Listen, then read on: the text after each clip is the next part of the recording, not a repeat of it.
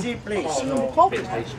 Today we use the tapioca root from making MSG.